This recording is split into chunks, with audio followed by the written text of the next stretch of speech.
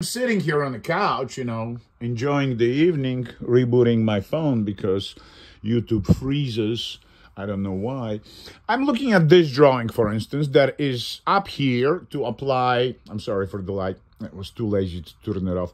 To apply smoking uh, technology, right? So, as I'm looking at this Pandora's box paradox from two months ago, uh, it's not as sophisticated as as the paradox I'm doing now, and those dice are not as sophisticated.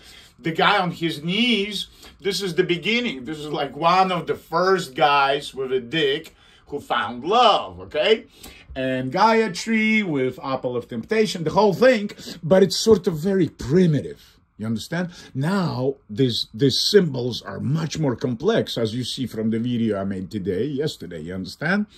So, evolution of the symbol is the process of growing complexity.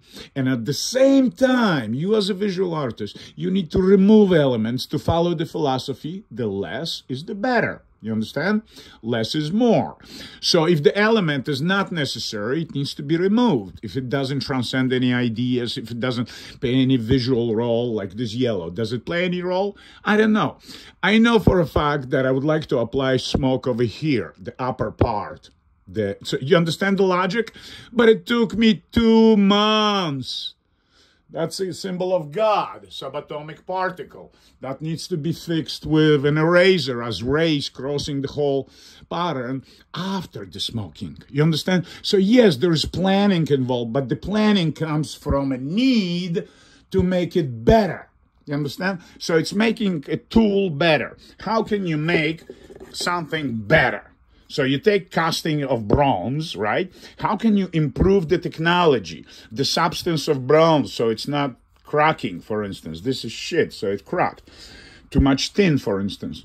That's why it's... So what I'm trying to say technological challenges you might be having with chemistry, with composition. This is where you come with solutions. This is how you create your own original style.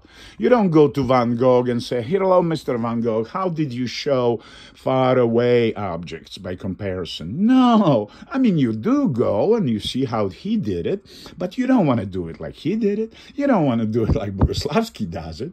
Okay? You want to do it your own way. I'm just showing you how I do it. But the process of discovery is your private. It's a private journey that you are taking as a as an individual, as an artist. Why the hell I'm making those crazy, you know, drawings, surrealistic drawings. I'm making money my whole life by those colorful, colorful, happy paintings. And suddenly I'm into these stellar navigation maps. What a crazy fucking idea. But they start selling because they're so enigmatic, so mysterious. And I manipulate, you know, chemically, and I design new designs. Every one is, of them of, of, of them is different, you understand? Well, this, this, this doesn't look like very alien, but I thought the face in the sun maybe aliens also have a star and maybe their faces have two eyes you know for binocular maybe they have one mouth to eat one butthole to shit maybe they need a nose to breathe well, that's my thinking.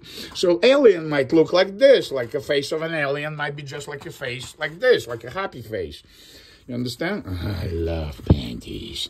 I love when they hang around. It really stirs up my balls.